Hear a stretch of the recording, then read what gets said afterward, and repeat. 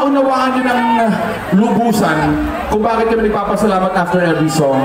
It's because ito yung dahil talaga nagpapasalamat kami. Kasi pare, kung sa tingin nyo, kung sa tingin nyo nag-enjoy kayo dahil sa banda, pare kung ganito kasaya yung crowd, kung ganito ka, ka, ka rock and roll yung crowd, pare maniwala man kayo hindi, mas nag-enjoy kami dahil sa inyo. So thank you very, very much. Hindi ako, hindi ako nagpapakasenti ah. Di pa nga ako lasing. Painom pa lang ako. Hindi ako lasing. Nagsasabi lang ng gusto. Hindi na-appreciate na talaga namin. Anyway, itong, uh, itong next song naman namin, ah sana, ah wala kami pinapatamaan, no? Pero kung, kung sakaling may tamaan, sana matamaan ka ng patindi. And, uh, sana, sana walang offend. Sana walang offend. Pero next song namin, pare, ay nais namin ni Alay sa mga sa mga kakilala natin na girls na hindi na nga ganun kaganda ang pangit pa ng ugali.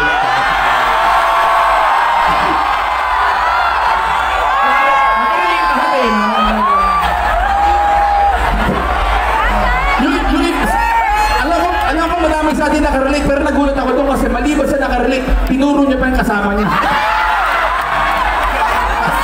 Kumbaga sa Facebook, tinag talaga eh. Kanta na lang natin.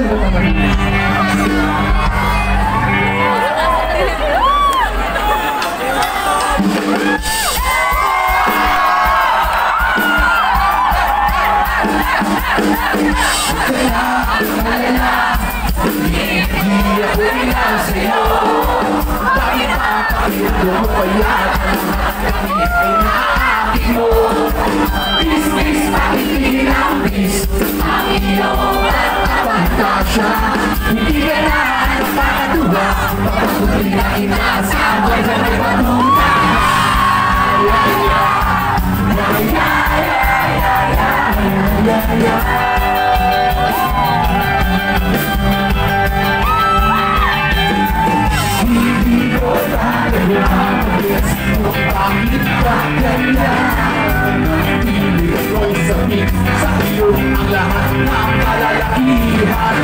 Bakit